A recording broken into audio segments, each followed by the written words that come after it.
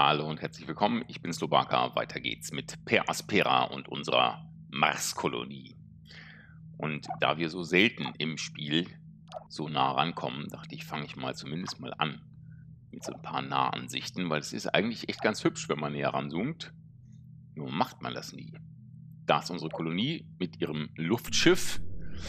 Und es sind ein paar Sachen passiert. Ähm, zum einen habe ich gedacht, das habe ich doch gar nicht ausgeschaltet, aber unsere Aluminiummine, die allererste, die wir gebaut haben, da sind die Ressourcen alle. Das heißt, äh, da müssen wir jetzt mal schauen, ob wir da große Probleme kriegen. Aluminium ist eng, ist knapp, das wissen wir.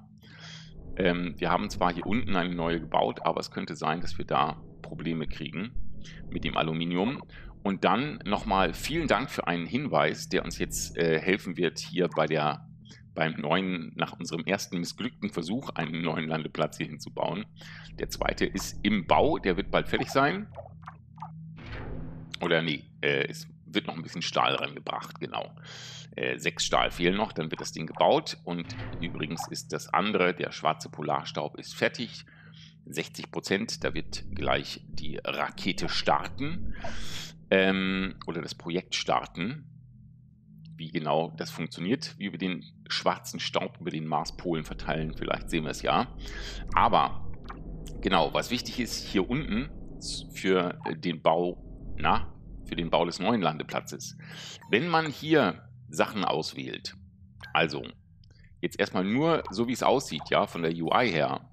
Ich habe gedacht, wenn ich jetzt hier eine Siliziummine baue, weil das hier weiß ist, dass das die Siliziummine 1 ist, es ist aber so, dass das Schwarze ausgewählt ist. Das sieht man natürlich hier, weil da eine 2 steht, aber ich hätte von der UI gedacht, weiß ist ausgewählt, schwarz nicht ausgewählt, weil das einfach so klassisch eher so ist. Das ist ganz wichtig, weil das natürlich deutlich weniger kostet. Hier sehen wir zum Beispiel 2,2 oder 6,6. Auch deswegen hat es wahrscheinlich hier nicht funktioniert. Gut, Vielen Dank also für den Hinweis. Das hätte ich wahrscheinlich übersehen. Da hätten wir nochmal den Landeplatz da äh, falsch gebaut. Da wir hier keine Ressourcen mehr haben, gehe ich davon aus, dass wir da auch nichts mehr rauskriegen. Insofern können wir das Ding verschrotten und die zwei Stahl und zwei Aluminium da uns äh, zumindest noch rausholen. Und dann lassen wir schon mal schneller laufen und warten auf unser Schiff, das ja eigentlich jetzt hier zusammengebaut werden müsste. In nicht allzu ferner Zukunft. Und beobachten vielleicht in der Zwischenzeit nochmal auf diesem Landeplatz etwas. Äh, Im Übrigen, morgen gibt es nicht nochmal per Aspera, es geht aber noch weiter. Ich überlege mir gerade ein System, wie ich mit den Aufbauspielen so umgehe, weil das Interesse immer so schnell fällt. Das finde ich ein bisschen doof. Ähm, aber ich denke, dass wir vielleicht bei den Aufbauspielen so eine Art Staffelsystem wie bei äh, Steinballen, ich klaue das, das, das gebe ich offen zu, ähm, benutzen, dass wir sagen, wir bauen erstmal in einem eine Woche was auf, dann bauen wir in dem anderen weiter und so weiter und so fort. Und da ist ein bisschen die Frage, wo ich morgen mit einsteige. Ich glaube, dass wir mit Per Aspera trotzdem nächste Woche noch eine Woche weitermachen. Aber ähm, es könnte sein, dass morgen ein anderes Spiel, entweder Surviving the Aftermath oder Workers and Resources, auf äh, dieser 16 Uhr Position am Sonntag steht. So, das noch zur Kanalinfo. Kleine Werbung, morgen 16 Uhr. So, und jetzt Ah, jetzt wird hier nochmal. Okay, also der schwarze Staub wird offensichtlich direkt verteilt. Und dann einfach, äh, dann wird das einfach nochmal gemacht, sozusagen. Jetzt könnten wir direkt gucken, dadurch wird die Rückstrahlung auf den Planeten verringert und dadurch wird natürlich dann die Temperatur erhöht. Jetzt schauen wir mal auf die Temperaturkurve. Die geht natürlich jetzt momentan gnadenlos nach unten. Wir müssten sie eigentlich ja nach oben bringen, wenn ich das richtig verstehe. Wenn ich das sehe, gibt es einen ganz kleinen Knick nach oben, aber nicht wirklich. Aber hier gibt es einen... Der Pressure geht... Die Pressure geht nach oben. Oder beziehungsweise bleibt gleich, die geht nicht nach oben, aber es ist zumindest Naja, gut. Das werden wir mal beobachten, was das jetzt macht. Fürs Terraforming. Und hier wird jetzt das Schiff gebaut. Alles klar. Das dauert noch ein bisschen, deswegen gehen wir nochmal auf ganz schnell. Denn ansonsten ist hier erstmal, wir können jetzt nochmal schauen auf das Aluminium. Das wird aber trotzdem noch mehr produziert. Gut. Also, diese Aluminiummine hat auch noch einen Boni. Die ist auch noch gar nicht aufgewertet. Ich nehme mal die Priorität nochmal raus. Ähm, da wir ja jetzt gelernt haben, wir lesen ja am Ende immer die Wissensdatenbank und wir haben gelernt, dass wenn wir die äh, priorisieren, dass sie dann auch mehr Strom verbraucht. Gut, aber die ist noch auf Stufe 1. Die hier unten haben wir, glaube ich, direkt Stufe 2 gebaut. Genau, das hätten wir gar nicht machen müssen, weil hier sind weit weniger Ressourcen als bei der anderen. Wo haben wir noch Aluminium gefunden? Hier haben wir nochmal Aluminium und hier haben wir auch Aluminium. So, und die nächste Forschung ist bereit. Die Atmosphärenbremsung von Methan durch einen Methanasteroiden. Bringe Methan von außen auf den Mars, indem du einen Methanasteroiden per Atmosphärenbremsung auflöst. Das wäre dann jetzt die nächste Variante, die wir machen können, um fürs Terraforming zu sorgen. Die dritte Variante wäre eine Weltraumspiegelanlage, um die Temperatur an den Polen zu erwärmen.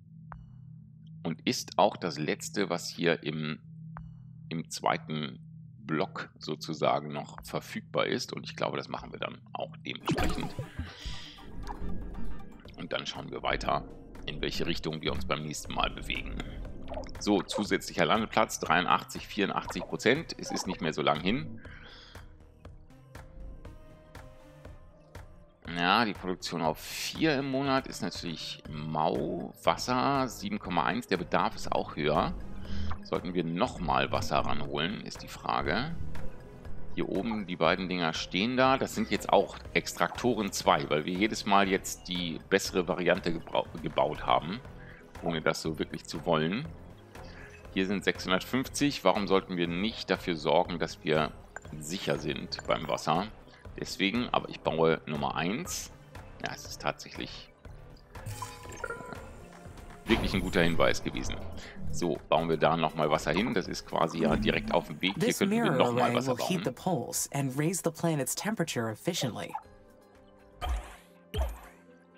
Ja, sie erzählt uns wieder was über die Spiegelanlage. So, angedocktes Landemodul.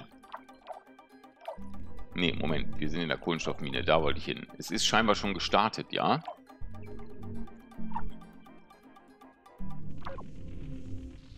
Sind wir schon fertig? Transferdaten empfangen. Ne, noch können wir es nicht starten. Es muss erstmal ordentlich angedockt werden da oben. Bevor das geht. Machen wir das noch einmal schnell. Und dann bauen wir die nächste Kolonie. Und dann müssen wir uns wirklich anschauen, was da als nächstes möglich ist. So, jetzt gucke ich nochmal, was wir als nächstes für die... Das ist fertig jetzt. Wir könnten noch einmal 50 extra Bevölkerung ranholen. Aber ich glaube, wir machen erstmal was anderes. Ähm, der Polarstaub ist Teil 1. Wir könnten jetzt die Treibhausgase mal ranholen. Oder eben diesen Asteroiden. Treibhausgase von der Erde. Ja, komm. Machen wir das mal. Oder warte mal. Ich weiß nicht, was besser ist. Egal, holen wir erstmal Treibhausgase von der Erde. Das dauert eine ganze Weile. Das geht ein bisschen schneller. Aber gut. Okay, und dann schauen wir uns jetzt an, dass wir hier einen neuen Landeplatz ranbasteln. Zwei starten. Wie ging das nochmal? Da geht's. So, das heißt, wir müssen hier jetzt ähm, das Ganze nochmal machen.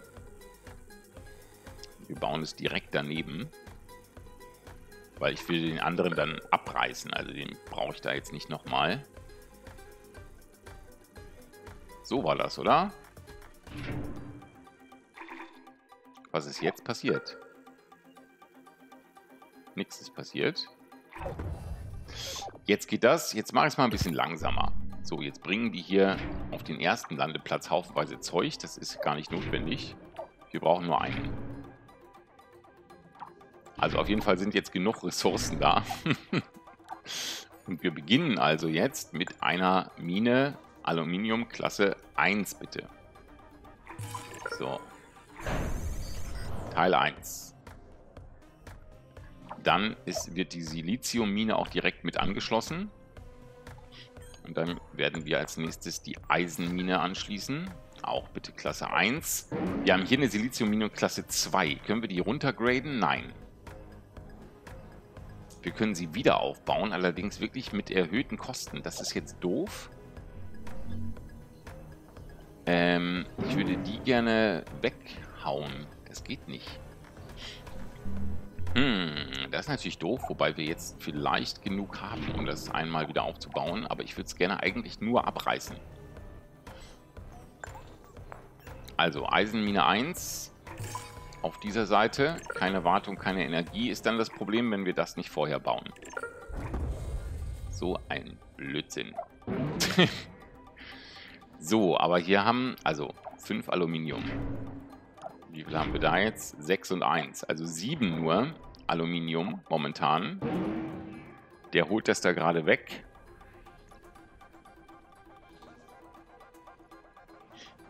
Wenn ich jetzt sage Wiederaufbau und dann es abbreche, ich schaue mal, ob das geht. Genau, verschrotten. Ach so, vielleicht macht er jetzt das... Ver ah, er verschrottet jetzt erst. Genau, deswegen ging es gerade nicht.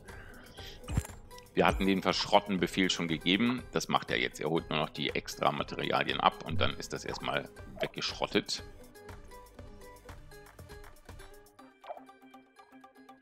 Lassen wir ihn das mal zu Ende machen. 2, 1 und 0. Okay. Das heißt, jetzt kommt da eine Siliziummine Klasse 1 rein. Und dann bauen wir eine Eisenmine Klasse 1. Und da ist dann schon die Energie vorbei, weil wir das eigentlich näher ranbauen müssten, ja?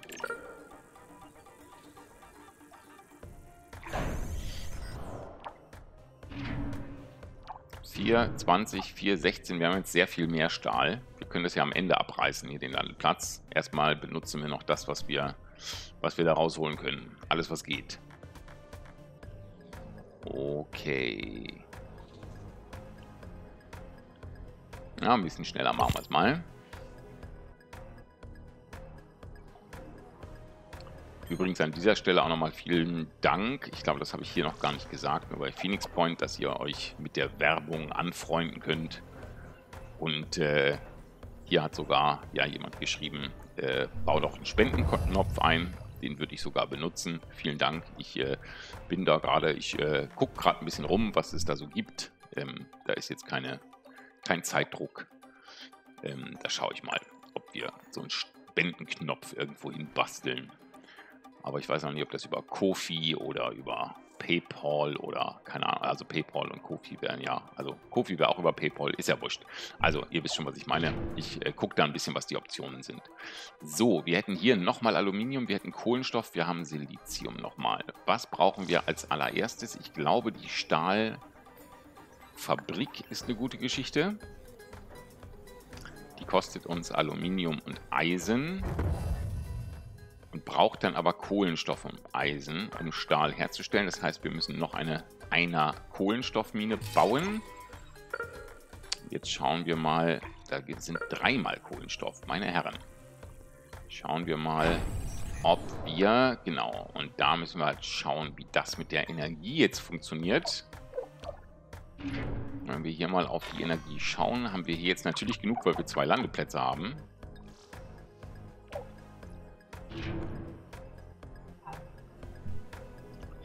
Aber ich denke, es sollte jetzt auch eine Solarfarm möglich sein. Die braucht Elektronik zweimal. Das sollten wir aber im Lager haben. Vier davon haben wir da und sechs haben wir da. Ja, jetzt ist es, glaube ich, ziemlich safe.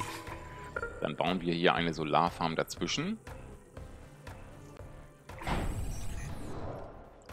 und dann eine Eisen, eine Stahlfabrik hier dazwischen. Zwischen die beiden Anlagen von Kohlenstoff und Eisen.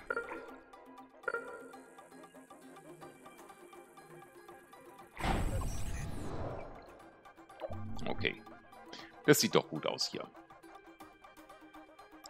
Und dann brauchen wir natürlich relativ bald auch dann eine Wartungsanlage, die Polymer aber braucht. Deswegen müssten wir das dann auch wieder erstmal hinbasteln. Die braucht Chemikalien. Dafür müssten wir entweder in die Krater rein oder hier unten hin.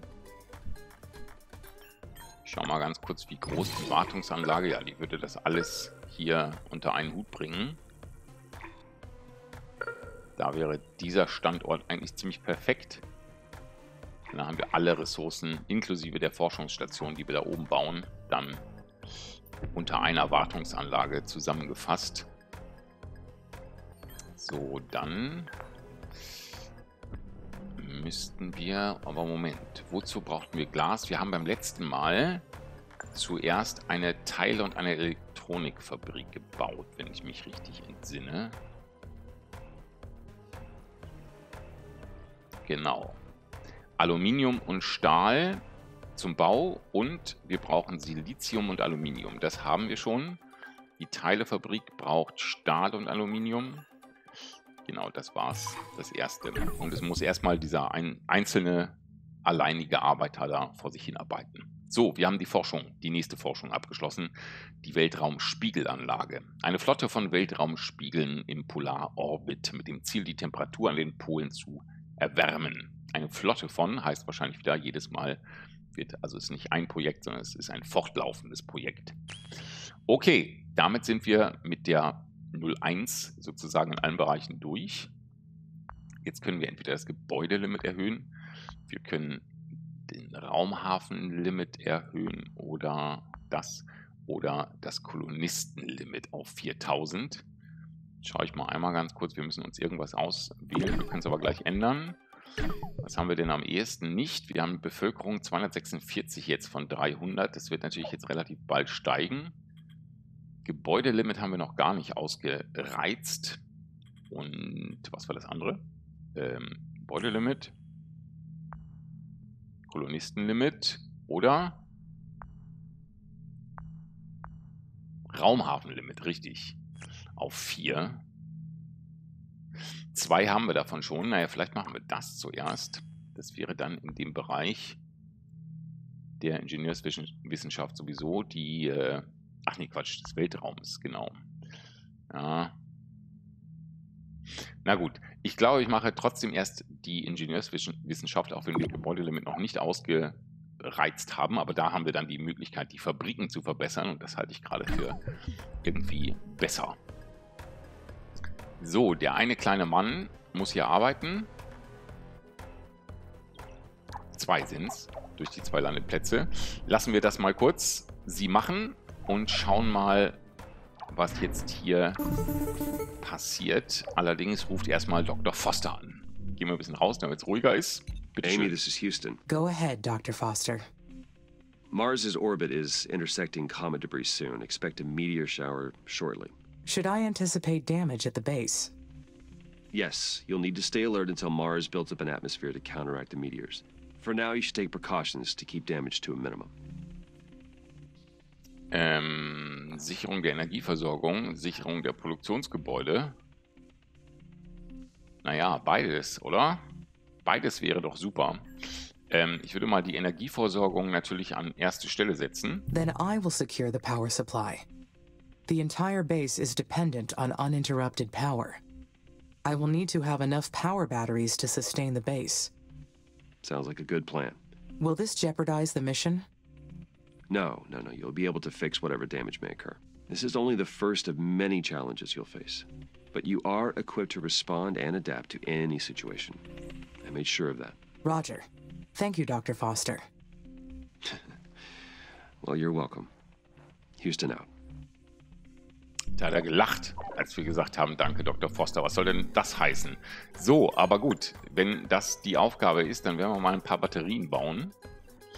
Ähm, wir haben tatsächlich auch Elektronik ohne Ende. Die Frage ist, wohin?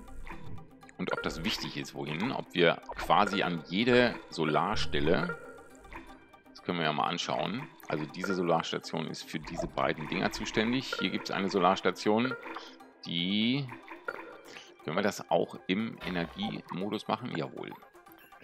Also, dass man einfach mal schaut, dass wir die richtigen Teile hier angestellt haben. Weil ich weiß nicht, ob der hier zum Beispiel, der Wasserextraktor, der braucht ja auch Energie. Der kriegt er aber nur, wenn wir da stehen. Dann kriegt aber der nichts. Aber das scheint hier durch die Stromanlagen eigentlich zu gehen. Okay, ich baue mal Batterieanlagen zwischen die einzelnen Teile. Also in die Nähe der jeweiligen Solarstationen.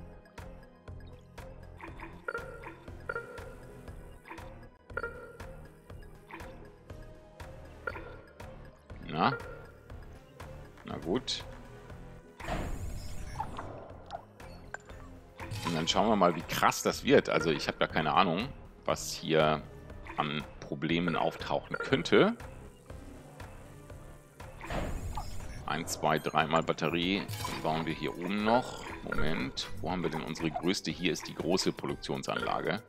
Wenn da ein Meteor reinfällt, ist natürlich richtig doof. Bauen wir da mal zwei Batterien hin.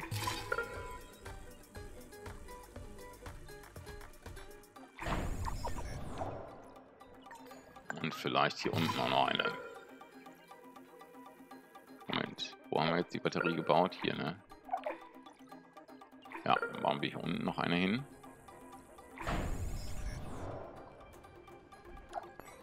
Wir bauen noch eine Batterie. Aber wie viel, bra ah, wie viel braucht die? Wie viel Energie braucht sie? Gar nichts. Gut. Dann ist es ja quasi ein, ein äh, No-Brainer. Das muss man quasi bauen. Und hier die Batterie nochmal für die Kolonie. Und die Außenteile, die würde ich dann mir anschauen, sobald was kaputt geht. Hier müssten wir natürlich, das ist jetzt natürlich ungünstig. Wenn hier schon was zerstört wird, dann kriegen wir ein Problem. Warum haben wir jetzt hier... Ach, wir haben keine Glasfabrik. Siehst du? Doch noch wieder was falsch gemacht. Die braucht Silizium. Dann machen wir das dann nochmal zuerst. Silizium ist hier.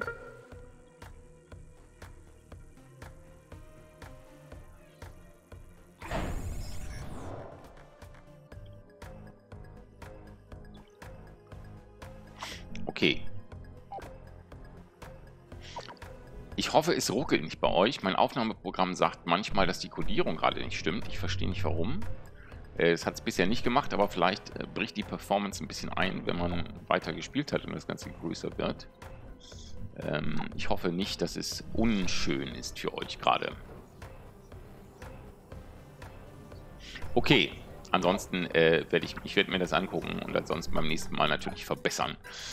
So, dann ist das natürlich gut. Brauchen wir hier auch noch eine, wir haben eine Solarfarm, die das erstmal regeln können müsste, zusammen mit den Teilen. Die Wartungsanlage müssen wir halt irgendwann bauen. Ich schaue mal ganz kurz auf die Wartung drauf. Das dauert aber normalerweise einen Moment, ne? bis hier das ähm, einbricht. Hier, der ist ein bisschen kaputt, aber der steht da auch schon sehr lange. Okay, dann ist das erstmal vielleicht gar nicht so schlecht, so wie es jetzt ist. Dann können wir es auch mal wieder ein bisschen beschleunigen. Haben wir hier irgendwo große Probleme. Silizium sieht gut aus, Wasser ist okay. Chemikalien sieht nicht so super gut aus. Of engineering. We are making great progress. Das ist doch schön. Aber nee, noch haben wir es nicht erreicht. Also wir haben gerade angefangen, das zu erforschen, aber noch ist es nicht so weit. So, was habe ich gesagt? Wasser Chemikalien sieht nicht so gut aus. Ähm, hm. Und Eisen könnte auch mehr sein. Also, wir haben hier ein großes Wasservorkommen. Eisen haben wir auch nicht, sehe ich gerade. Wo sind denn unsere Scanner jetzt am Arbeiten? Oh, die sind aber weit draußen schon, alles klar. Ähm, auch wenn sie langsamer werden, für mich reicht es gerade, was, was die hier so leisten. Also ich brauche jetzt keine weiteren an die Ränder bauen, weil das ist echt ordentlich, was die hier jetzt anschauen. Aber jetzt sehen wir mal so einen Bereich, so einen schraffierten Bereich, was das heißt, wenn es anzeigt, hohe Wasservorkommen. Da ist dann echt einiges. Also haben wir hier ein, eine Mordsanzahl an Chemikalien und Wasser da oben. Aber Eisen sehe ich jetzt nur da oben. Da ist allerdings auch Aluminium, was natürlich auch wieder gut ist. Und Chemikalien. The first of many challenges. It is an annoying distraction from the mission, but easily fixed. If only it were me and Mars. Was meinst du denn jetzt? Kommen schon die ersten Einschläge jetzt hier, oder was? Oder was sagst du? Oder hat dich einfach irritiert, dass er gesagt hat, das ist erst die erste Challenge und es kommen noch viele andere? So, klein und neu und schön und gut, das sieht doch nicht schlecht aus. Ich glaube, wir sind auch dabei, dass wir hier eigentlich fast alles jetzt schon abarbeiten, außer die Chemikalien. Also, Glasfabrik steht auch. Dann können wir, dann haben wir jetzt die Stahlfabrik und die Solarfarm. Alles ist im Bau. Dann sollten wir vielleicht jetzt mal die Wartungsanlage rein. Ach nee, Quatsch, wir brauchen erstmal die Polymerfabrik die braucht eben die Chemikalien. Dafür bauen wir uns eine Relay-Station für den zweiten Arbeiter. Dann bräuchten wir allerdings auch eine Arbeiter-Geschichte. Ähm, Moment. Wo ist denn die nochmal?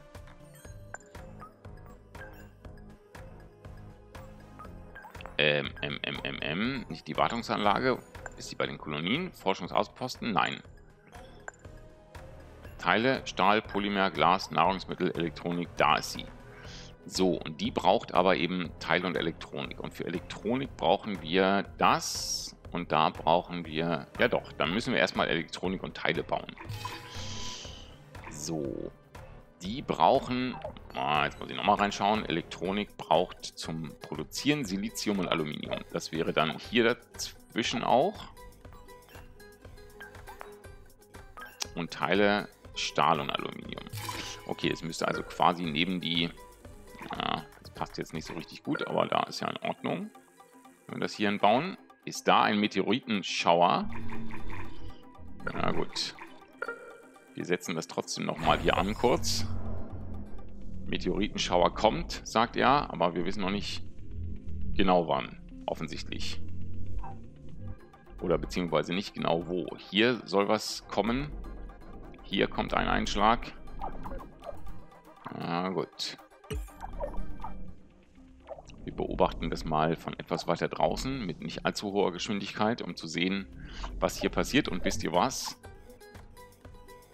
Die Folge ist vorbei. Verflixt.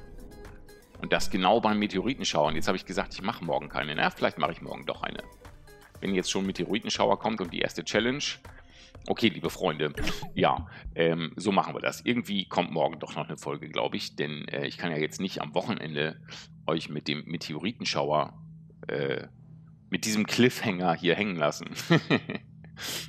Gut, am Ende, also ich hoffe wirklich, dass hier keine Ruckler drin waren. Ansonsten wird das bereinigt bis zum nächsten Mal.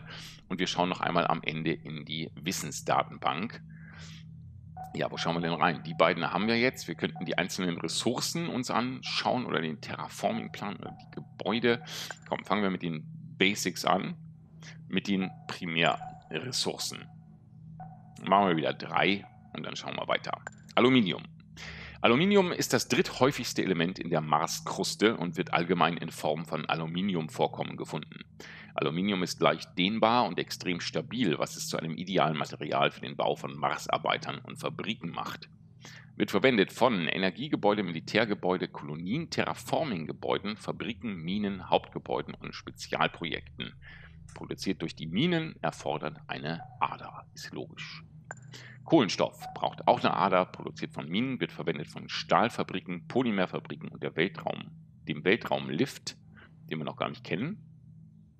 Kohlenstoff ist auf dem Mars in Form von Kohlendioxid reichlich vorhanden, doch auch in Carbonatvorkommen überall auf dem Planeten. Dieses Material ist nützlich für die Herstellung von Plastik und Kohlenwasserstoffen, die wiederum für die erfolgreiche Entwicklung der Kolonien von entscheidender Bedeutung sind. Machen wir noch die Chemikalien. Erfordert ein Chemikaliendepot, wird produziert von Fabriken, wird verwendet von Nahrungsfabriken, Treibhausgasfabriken, Polymerfabriken, Sauerstofffabriken und Spezialprojekten. Sauerstofffabriken, cool. Ähm, unter der ersten Schicht des Marsbodens können biologische Chemikalien aus einer erdähnlichen Zeit gefunden werden.